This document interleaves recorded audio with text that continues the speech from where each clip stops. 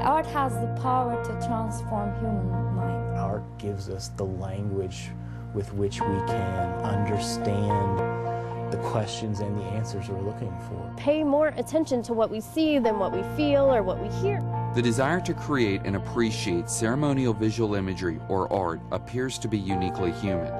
While some primates doodle, Homo sapiens are the only hominid that actually set out with the goal to create art, and this is a trait we have embraced. Visual imagery surrounds us. It informs, enlightens, entertains, and even enrages us. Regardless of its impact, one thing is universal. It exposes us to a whole new world and a way of thinking. But why do we do it?